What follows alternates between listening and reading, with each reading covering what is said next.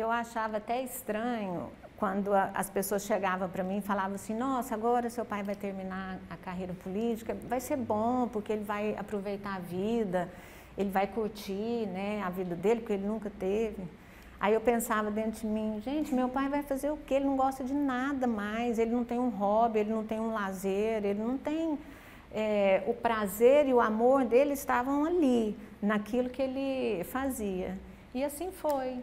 E assim foi. Ele fez o que ele mais amava até o último dia da vida dele. O legado que ele deixou vai ficar eternamente através das obras dele. Hoje mesmo, quando eu estava vindo de casa para cá, eu lembrava dele o tempo todo, porque é uma praça que eu lembrava, ah, ele é que fez essa praça. Aí passei por uma escola, lembrei de um mutirão que a gente tinha feito naquela escola. Milhares de pessoas teve uma experiênciazinha com ele. Isso. Né? Seja num mutirão, seja numa casa que ganhou.